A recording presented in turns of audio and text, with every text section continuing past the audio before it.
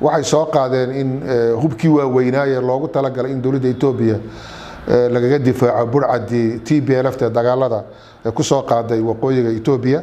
marka hubkii loogu talagalay in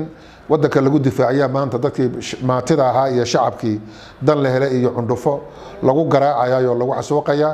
maamulka xanfarta ee galbeedka gobolka city deegaanka soomaalidu uu daris wadaaga ka yahay ayaa weerar aan loo meeldayin waxa ay ku soo qaadayaan. Shacabka galbeedka gobolka city ee deegaanka soomaalida halkaas oo ay dadka shacabka ay reer guuraaga iyo sidoo kale dadka degan tuulooyinku ay dhibaatooyin ba'an ka soo gaarsiinayaan sida uu sheegayo. Riyaale xaamud axmed oo ka mid a mas'uuliyiinta ururka wanalef maamulkii canfarta iyo maleeshiyadiisii liyu booliskiisii jabhadihii waxaasoo dhan iyagoo ishuwamay maanta waxay ku soo qaadeen dagaal labada magaalo ee dan la iyo cundhufo. Maalmahan oo dhanna ilaa dhowr cisho o dhanna dagaaladan way socdeen waanan iska caabinayay. Laakiin maanta waxay soo qaadeen in hubkii waaweynaaye loogu talagalay in dowladda etoobiya lagaga difaaco burcadii t b lft dagaalada ku soo qaaday waqooyiga etoobiya marka hubkii loogu talagalay in wadanka lagu difaaciya maanta dadkii maatida ahaa iyo shacabkii dan la hele iyo cundhufo lagu garaacayayo lagu xasuuqayaa taasina waa miday u dhan yihiin maamulka cafarta iyo liyu booliskiisa iyo maleeshiyadiisa iyo shacabkiisa oo dhan.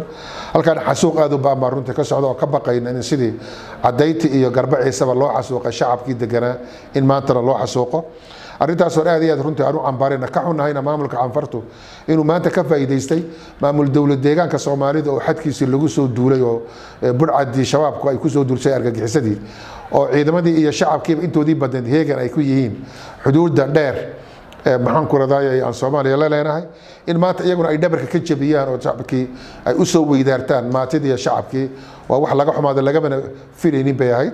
Marka halkaa waxaan aad iyo aad uga cambaaraynayna maamulka canfarta sida gardarada ah ku soo duulay una adeegsanaya hubkii loogu talagalay in lagu difaaco maxaan ku radaayay dowladda etoobiya xuduudaha. Etoobiya laga difaaco burcadda t b l f. Marka waxaan leenahay arrintaasi waa inay sida ugu dhaqsaha badan ay ka waantoobaan maamulka cafarta iyo maleeshiyadiisuba. Haddii kale in tallaabo sharciya oo kala duwan inaan ka qaadi doono oona loo adkaysan doonin shacabka soomaaliyeed u yaqaana sida u difaacayo xuduudiisa qodobka labaad waxaan halka baaqaan uga dirayaa dowladda federaalka etoobiya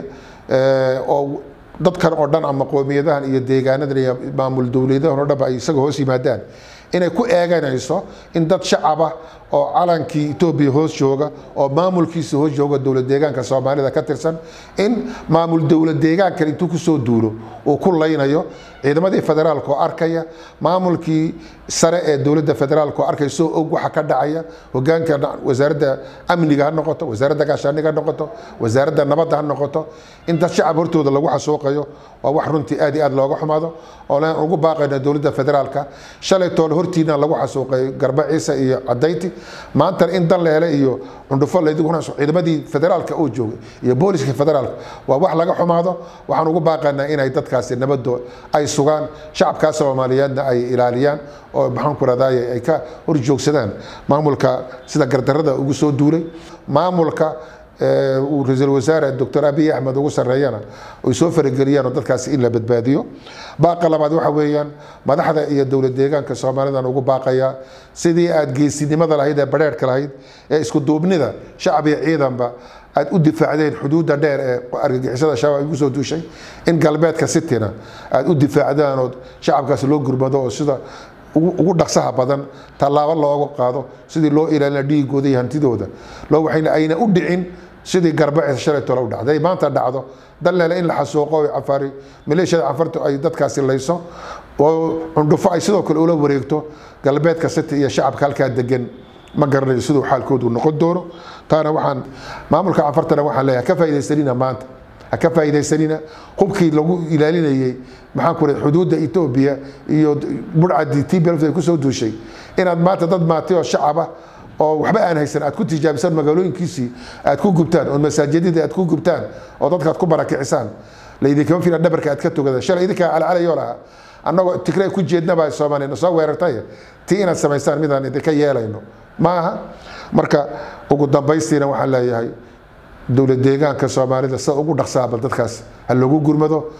midig hiil iyo hoona la gacan siiyo weerarada xanfarta ayaa muddooyinkii ugu dambeeyey waxa uu ahaa kuwa soo lalaabtay iyadoo dad badan oo soomaali ah